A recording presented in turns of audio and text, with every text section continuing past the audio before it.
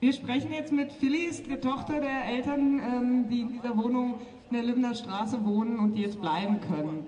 Ähm, Phyllis, deine Eltern wohnen bei der öffentlichen Wohnungsbaugesellschaft MB, äh, WBM in der Lundener Straße im Wrangelkiez. Kiez. Ähm, warum war es so wichtig für deine Eltern, dass sie in der Wohnung bleiben können? Also meine Eltern wohnen seit 40 Jahren in dem Kiez. Sie sind als sogenannte Gäste aus Deutschland gekommen.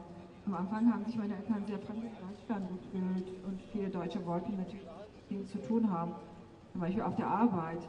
In den 40 Jahren, in denen sie hier wohnen, haben meine Eltern natürlich Freunde in ihrer Umgebung gefunden. Meistens waren das Türken. Sie haben sich eine neue Heimat in ihrem Kiez geschaffen.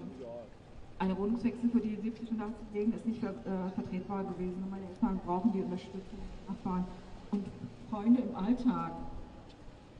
Und, und ohne ihre Freunde wären sie extrem einsam und in dem Alter lernt man auch nur sehr schwer Leute kennen. Meine Mutter hat einmal gesagt, bei einem Umzug hätte ich ein zweites Mal in Deutschland ankommen müssen. Das sagt schon alles. Ein Umzug hätten meine beiden Eltern physisch und psychisch nicht überlebt. Wir wollten nichts, nicht, dass meine Eltern an ihrem Lebensjahr angetan wird. Deswegen haben wir gekämpft.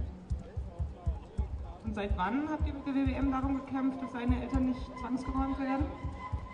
Los, wir sind schon seit Jahren im Streit der Grund, dass WWM uns rausschmeißen wollte, war, dass wir uns gewehrt haben. Dass wir uns nicht mehr alles gefallen lassen haben, zum Beispiel Ungeziefer in der Wohnung, kaputte Fenster und, und, und. Die Wohnung war ja jahrelang in einem furchtbaren Zustand. Als meine Eltern angefangen haben, Mieter zu mindern und Mängel anzuzeigen, ging der Stress dann haben sich Mietschulden angehäuft. Schließlich wollte die BWM meine Wohnung nur rausschmeißen. Ähm, ja, wahrscheinlich, weil sie die Wohnung in der Lage teurer vermieten können. Daher hat dann auch von der BWM andere Wohnungsangebote bekommen, aber in einem ganz anderen Kiez, das ja nicht akzeptabel war. Und wann und wie kam dann der Durchbruch? Also was denkt ihr, hat dazu geführt, dass die WWM dann schließlich doch nachgegeben hat? erste Punkt ist natürlich, ähm, dass wir die Forderung nicht abgewischt abgewischt. Äh, also meine Eltern waren fest entschlossen, nicht aus der Wohnung zu gehen. Wir sind standard geblieben und haben uns nicht manipulieren lassen. Und zweiter Punkt war natürlich, seitdem wir Teil des Bündnisses sind, hat die BWM gesehen, dass wir als Familie nicht alleine dastehen, sondern für eine große Mehrzahl Familie sind. Wir haben auch Kraft geschafft, dass andere Leute uns unterstützen. Dritter Punkt war, würde ich sagen, ähm, dass die Politiker sich noch eingeschaltet haben und waren plötzlich auf unserer Seite. Wir haben auch mit der WWM-Tage den Druck gemacht.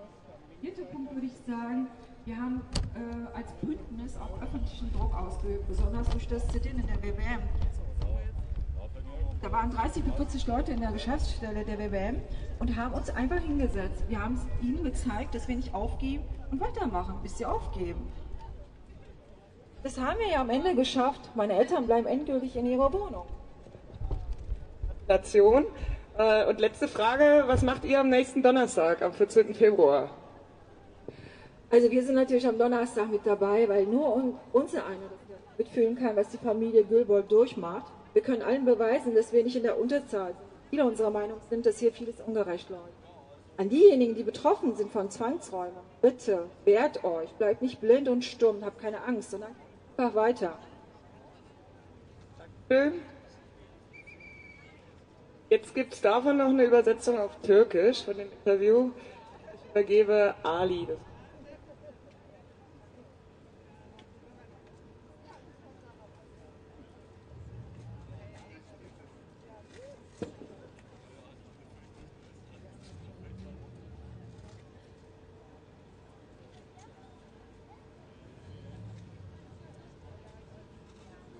das ailenin evde kalmasını neden önemli?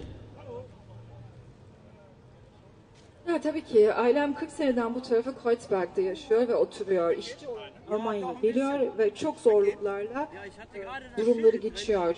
Bilindiği üzere o zamanlarda Almanların pek yabancılarla diyalogları gerçekleşmedi. Bunun üzerine yabancılar kendi inisiyatifleriyle kendilerine mutlu ve huzurlu yaşam ortamı buldular. Yani küçücük bir dünya kurdular sonuçta. Ya 70 ve 80 bir insanın istemediği halde evden çıkarılması hiç hoş değildi. Ailemin 40 senede kurmuş olduğu o dostluklarla dostluklara ihtiyacı vardı tabii ki. Bu yaşam bu, bu, bu yaştan sonra bir başka ortama, bir başka çevreye alışmak çok zor. Daha doğrusu imkansız. Bir sözü sanıyorum her şeyi anlatıyor ve ifade ediyor. Ben ikinci kez Almanya'ya gelmek istemiyorum. Ayrıca ailem bedensel ve ruhsal yeni bir eve taşınacak bir durumda değiller. Bu yaştan sonra onlara bunları yaşamamak için savaş var tabii ki. Filiz ne zamandan beri VBM'le çekişiyorsunuz? 2007'de bizlerin artık oyun eğmedi. Kalkışmamızdan sonra başladı bu olay. Ne zaman haklarımızı o zaman bizleri göster. Ya tabii ki senelerdir alışık değillerdi bunlar. Yabancının bir aile bazı haksızlıklara karşı baş. Ve ben bunlara şöyle yanıt verdim. Aileyi def etmek istedim. Doğru kafamıza vurdukça sustuk ama ne zaman hak aramaya çıktık adımız şikayetçi oldu. Madem çok şikayetçi olan bir aile idi neden aileme yeni başka bir ev gösterdi? Sonuç belli. Oturduğumuz evi bizler çıktıktan sonra iki misli değer artarak kirana, kiraya verilecek. Tabii ki bunları kimse söylemiyor. Başka türden açıklık veriyorlar. Ne zaman başarı nasıl Başarı nasıl gerçekleşti? Geri adım nasıl attılar?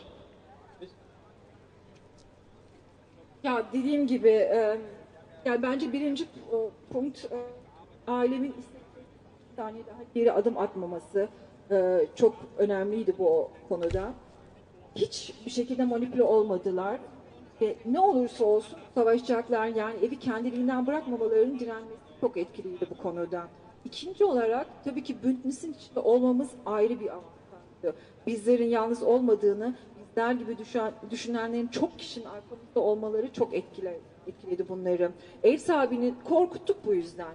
Yüzlerce insan doğru yolda olduğumuzu gördüler ve bizlere destek verdi.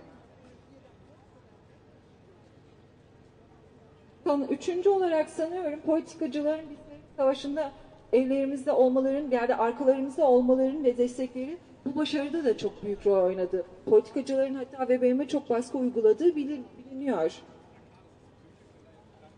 Dördüncü olarak düşünüyorum Bündnis, e, Bündnis olarak da çok eylemlerde bulundu. En son eylemimiz VBM'e karşıydı ve ben binasında 34, 30, 40'a yakın oturma eylemi gerçekleşirdi. Ve 40 kişilik yani tabii ki. Ee, orada bizlerin pes etmediğini ve büyük kalabalık olduğumuzu gösterdik onlara. Onlar pes, e, pes edecek sandılar bizler ama hayır öyle olmadı. Eyleme devam edildiğini açık ve net bir şekilde gösterildi. Sonuç belli sonuçta. Savaş kazanıldı. Ailem evlerinde kalıyor. En büyük başarıdır. Teşekkür ederim.